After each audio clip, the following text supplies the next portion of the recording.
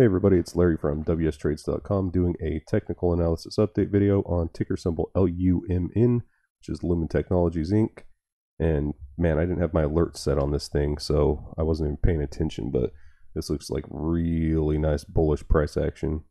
Um, so I've got these two price levels, these two red lines right here. Uh, one was the lower price level at about 1140-ish and this other one that I had on, which is about 1250.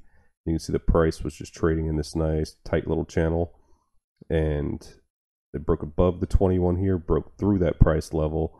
Next day sold off to or into the price in, into this price level below uh, 1250, but then ended up finishing above it.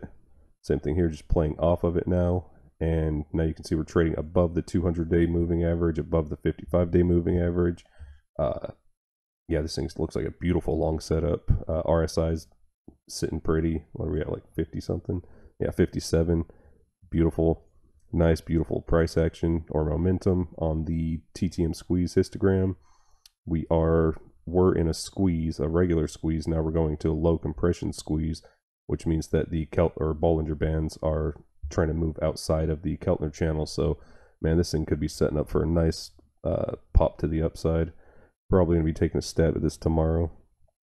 Um, see, there was one news story I saw, and that is it's a positive news story. I don't know who this is from, uh, PR Newswire, but today they came out with a uh, story that theory confirmed Lumen Black Lotus Labs discovers Linux executable file has been deployed as a stealth Windows loader. It says that uh, Black Lotus Labs, the threat intelligence arm of Lumen Technologies, has proven what was previously just a theory. Threat actors can use a Linux based binary as a loader designed for Windows subsystem for Linux to inject malicious files into a Windows running process.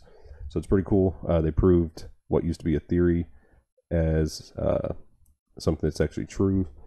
So positive news. That's the only news story we've got today. So, but yeah, them breaking above that price level and above the 200 uh, day moving average looks really good. And like I said, we're coming out of a regular squeeze into a low compression squeeze. So yeah, this thing could be ready to pop hard. But yeah, definitely keep a keep an eye on that price level, that 1250.